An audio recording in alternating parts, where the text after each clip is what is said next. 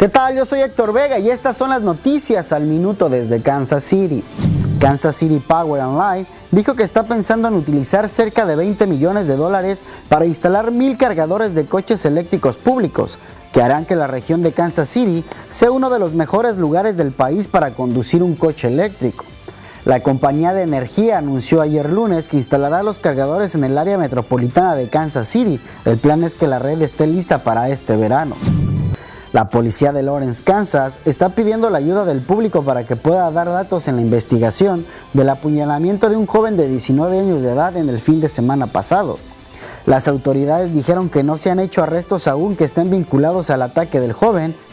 La ampliación de estas noticias, toda la información y lo que debe saber usted de la comunidad esta noche a las 10 en De Latinos.